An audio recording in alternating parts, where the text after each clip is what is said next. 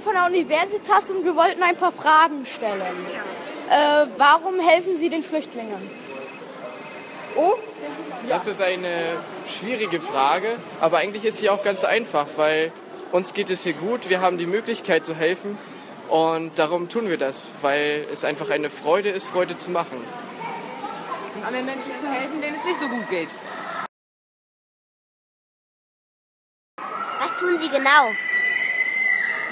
Ja, wir heißen die Flüchtlinge erstmal willkommen von ihrer beschwerlichen Reise, geben ihnen zu essen und zu trinken und versuchen irgendwie herauszufinden, ob jemand Englisch kann oder welche Übersetzer wir jetzt brauchen und versuchen herauszufinden, äh, wo die Menschen hinwollen. Die meisten wollen nach Schweden. Genau. Und wie geht's dann weiter? Ingeborg? Ja, dann gibt es auch noch ähm, einen kleinen Teil, die gerne in Deutschland bleiben möchten, die dann in eine Unterkunft äh, weiterkommen und ja, von da aus geht ja der Weg dann weiter, je nachdem, wie das mit den Behörden so verläuft. Genau. Ja. gemacht. Eigentlich immer sehr gute Erfahrungen. Also sie sind, ähm, ja, sie sind sehr dankbar, sie freuen sich darüber, dass wir sie äh, hier so nett in Empfang nehmen. Und ja, ja, man könnte es vielleicht auch andersrum sagen. Wir sind immer bemüht, dass die Flüchtlinge mit uns gute Erfahrungen machen. Genau. Und äh, das klappt meistens auch ganz gut. Also das ist wirklich eine Freude zu sehen, wie dankbar die Menschen sind, dass sie hier aufgenommen werden und auch von uns erfahren, dass sie heute Nacht mal nicht auf der Straße schlafen müssen, sondern im Warmen. Äh, haben Sie genug Helfer? Helfer können wir nie genug haben. Also ich habe gehört, dass es im gesamten Bereich Rostock hilft 770 eingetragene Helfer gibt. Aber es kann ja nicht jeder zu jeder Zeit. Deswegen sind wir immer bereit, neue Helfer mit aufzunehmen. Und wenn man ein paar Stunden entbehren kann, dann ist jeder willkommen.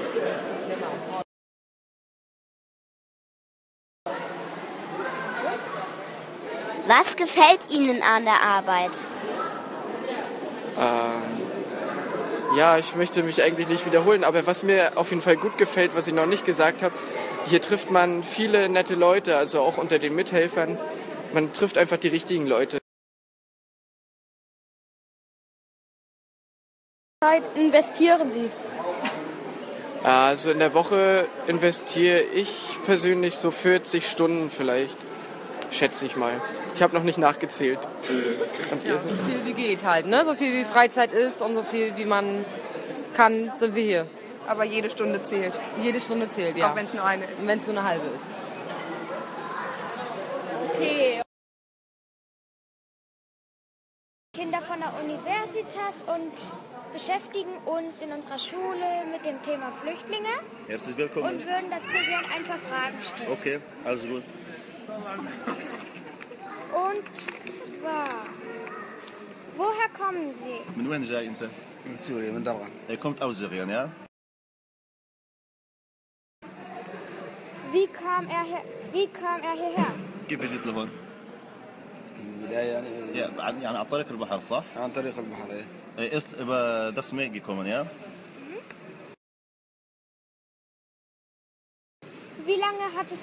ساعات قد إيه ظلت رحله على الطريق؟ 12 يوم اكسو إست آه، إتس فولف تاجا أنت فيكس جيب ليفن ها؟ اتس فولف تاجا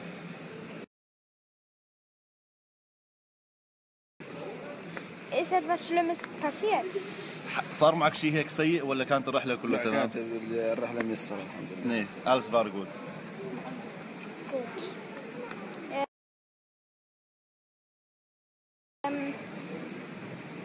bleibt er jetzt hier zum Schlafen, zum Essen oder... Also wo, wo wohnt er jetzt? Ach so. هلا انت وين بدك تروح وين على السويد ولا بدك تضلك بألمانيا؟ بألمانيا. Ach so, ja.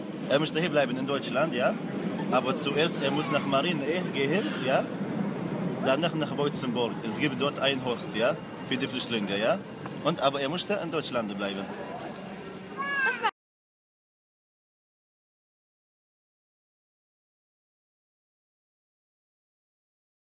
Was halten Sie von den Flüchtlingen in Deutschland? Äh, naja, eigentlich ist ja gut, weil wir haben ja wenig Kinder. Ne? Eigentlich ist ja gut, wenn wir Nachwuchs haben in Deutschland. Was ich von den Flüchtlingen halte, Jeder hat das Mensch, da zu leben, wo Frieden ist. Ich finde es gut und wichtig, dass die Menschen hierher kommen dürfen, weil sie einfach in ihren Heimatländern gerade nicht leben können, weil das ja viel zu gefährlich ist. Deswegen ist es wichtig, dass wir ihnen jetzt hier helfen. Warte doch! Was? Wenn es nicht zu viele wären, ist das okay. Ich wohne direkt neben einem Flüchtlingsheim. Seid ihr den Flüchtlingsheim? Ähm, ja, ich finde schon, weil die in dem Land äh, dort keine Hilfe bekommen und auch ähm, nichts machen können da und äh, denen sozusagen die Hände gebunden sind. Und da ist es dann an unserer, da sind wir dann an der Stelle, wo wir dann helfen müssen. Und äh, ich denke, ja, wir sollten. Was ich von den Flüchtlingen halte. Also ich finde es auf jeden Fall vollkommen legitim, dass Leute Obdach finden, wenn sie aus Kriegsgebieten flüchten. Ich kann mir das nur selber vorstellen, wenn ich mich in der Situation befinden würde, würde ich genauso gerne wollen, dass ich, egal wo ich, dass ich irgendwo Obdach finde und irgendwo eine Zeit lang bleiben darf. Äh, muss ich ganz ehrlich sagen, scheiße. Muss ich ganz ehrlich sagen. Weil äh, es sind zu viele. Ja, wir können ja nicht so viele aufnehmen.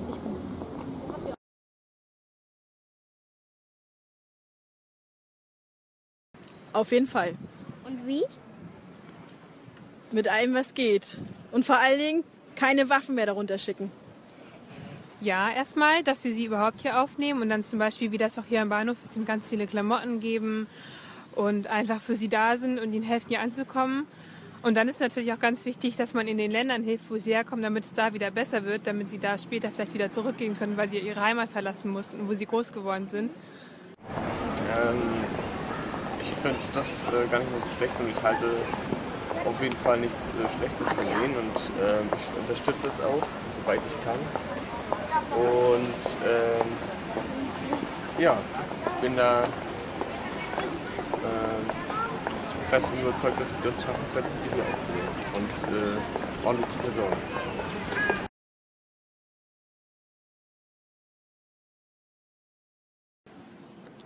Wie würden Sie sich verhalten, wenn hier Krieg wäre? Ich würde auch flüchten. Mit meiner Familie. Oh, das finde ich eine schwierige Frage, ehrlich gesagt. Ich weiß es ehrlich gesagt nicht. Ich hätte auf jeden Fall ziemlich große Angst, würde ich sagen. Aber ich wüsste nicht, was ich dann machen würde. Ich würde alle meine sieben Sachen packen, mein Kind nehmen und ganz, ganz schnell von dann machen. So schnell es geht.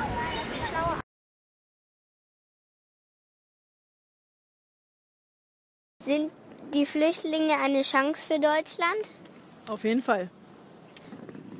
Ich finde schon, weil wir auch kulturell einfach ganz viel von anderen Kulturen noch lernen können und einfach als Land noch offener für die Welt sein können. Das ist eine sehr offene Frage, ja, aber ich finde schon, dass es eine Chance ist, auch wieder kulturell ein bisschen was dazu zu lernen. Ähm, und ich habe auch schon mit vielen gesprochen, viele wollen auch weiter, viele fühlen sich hier total wohl wollen auch hier bleiben, wollen eine Existenz hier gründen. Ich denke schon, dass es natürlich klar. Sie bekommen ja auch Geld und sie kurbeln die Wirtschaft damit an, sie geben es auch aus. Ist ja nicht so, dass, ne?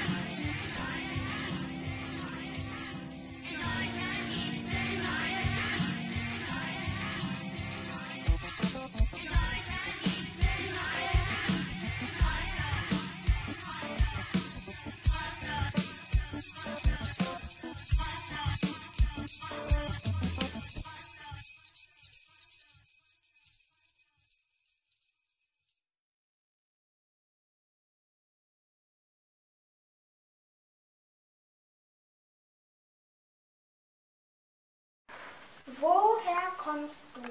Ich komme aus Syrien. Aus Syrien. Ja.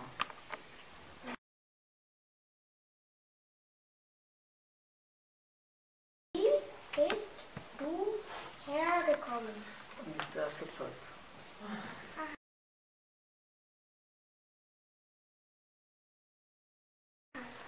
Wie lange hat es gedauert?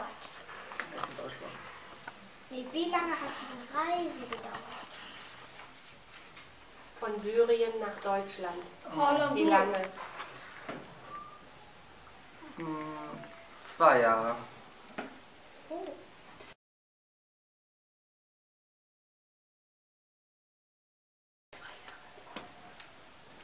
Wo ist deine Familie? In Syrien. Und in Bulgarien. In Bulgarien. Ja.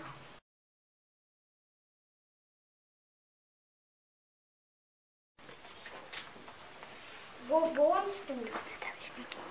In Rostock mal.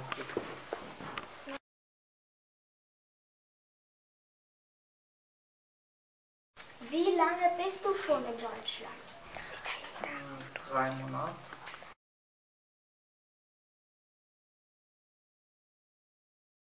Ähm, wie findest du Rostock? Wie findest du es hier? Gut oder? Ja, ja, hier ist sehr gut.